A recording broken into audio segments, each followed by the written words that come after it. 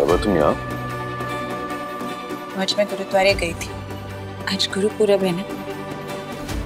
तो मैंने सोचा तुम्हारे लिए और ऑफ़िस में सभी एम्प्लॉयज़ के लिए कड़ा प्रसाद लेती हूँ ताकि पापा जी की मेहर हम पर हमेशा बनी रहे खास करके तुम पर।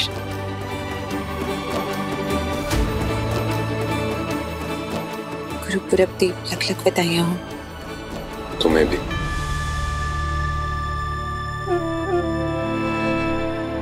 फिर से बात हुई। नहीं। तुम्हारी बात हुई कीरत से। तुम्हारे मम्मी पापा को कीरत ने कुछ बताया?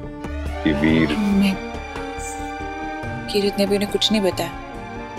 उन्हें तो लग रहा है कि शायद कीरत की तबीयत ठीक नहीं है। फिर मैंने भी टॉपिक नहीं छेड़ा। कुछ समझ में नहीं आ रहा है कि क्या होगा। आज मैंने बाबा जी से अरदास की। कि जैसे तुम्हारा डायमंड वाला मामला सुलझ गया ना ऐसे वीर और किरत का मामला भी सुलझ जाए। तुम देखना सब अच्छा ही होगा। कहाँ है अंगद सिंह ब्रार बुलाओ उसे। मिस्टर चोपड़ा आप मेरी बात सुनिए। अंगद कहाँ है? बुलाओ उसे। प्लीज़ सर वो मीटिंग में है sir. Sir I am so sorry मैंने इन्हें रोकने की कोशिश की sir it's okay mister Chopra Mrs Chopra क्या हुआ? सब ठीक है ना? हमने कभी सोचा नहीं था अंगद कि तुम किसी के साथ ऐसा कुछ कर सकते हो। खासकर हमारे साथ।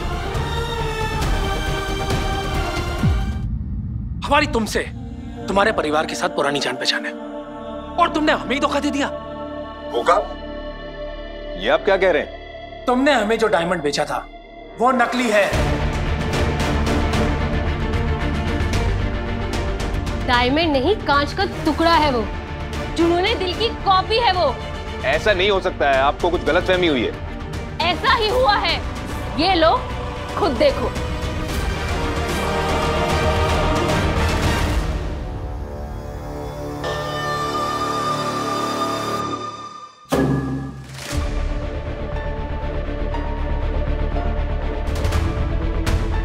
हमारी टीम ने इसे अच्छे से चेक किया है। एक नहीं तीन तीन एक्सपर्ट्स को दिखा चुका हूँ। लेकिन सबने एक ही बात कही है।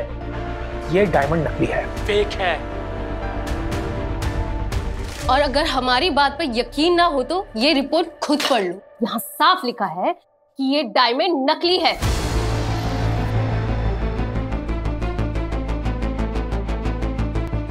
तुम पर आँख मूंद कर भरोसा करते थे तभी डील करते वक्त बिना इसकी जाँच करवाए तुम्हें सारे पैसे दे दिए। अंकल क्या वाकई डायमंड नकली है?